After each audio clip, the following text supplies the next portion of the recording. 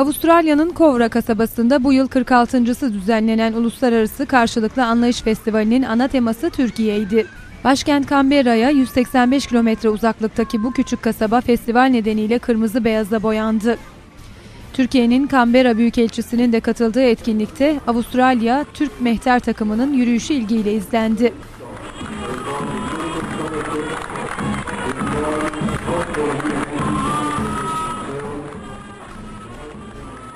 Kırmızı beyaz balonlar ve Türk bayraklarıyla süslenmiş araçlar da geçit törenine renk kattı.